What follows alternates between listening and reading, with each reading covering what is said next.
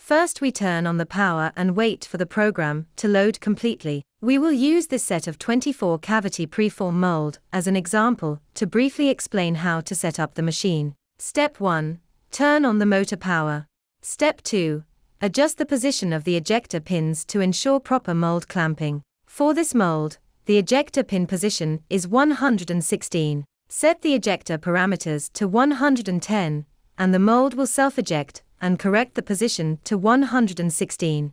Step 3 Adjust the melt position and cooling time. The melt position should be set to 260, and the cooling time should be adjusted to 15 seconds. Step 4 Adjust the speed, pressure, and injection position.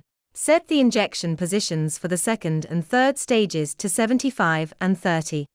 Step 5 Adjust the injection time. The required injection time for this set of molds is 8 seconds. Since this set of molds doesn't require holding pressure, there's no need to set the holding pressure parameters. This completes the mold setup stage. Next, switch the injection molding machine to manual mode to test the mold actions. If the mold actions work properly, you can switch to semi-automatic mode for trial production. Once the trial production is stable, you can finally switch to fully automatic mode.